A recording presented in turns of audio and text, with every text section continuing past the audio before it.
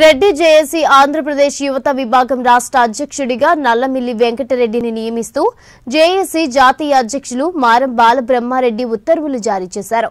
ఈ సందర్భంగా రెడ్డి జాతి యొక్క కష్టాలు ఇబ్బందులు సమస్యల పరిష్కారంకు కృషి చేయాలని సేవ సహాయ అభివృద్ధి కార్యక్రమాల ద్వారా పేదరిక నిర్మూలనకు రెడ్డి జాతి ఆర్థికంగా బలోపేతం కావడానికి పాటుపడాల్సిందిగా జాతీయ బాలబ్రహ్మారెడ్డి సూచించారు.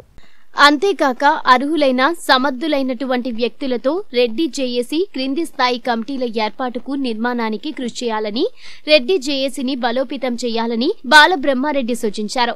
ప్రపంచ వ్యాప్తంగా ఉన్న రెడ్డిలది కులం ఒక్కటే కావున బేషాజాలు పంతాలు పట్టింపులు పక్కన పెట్టి నిస్వార్థంగా రెడ్డి జాతికి బంగారు భవిష్యత్తును ఇవ్వడం కోసం రాజకీయాలకు పార్టీలకు సంఘాలకు అతీతంగా రెడ్డిలంతా ఒకటవుదామంటూ పిలుపునిచ్చారు.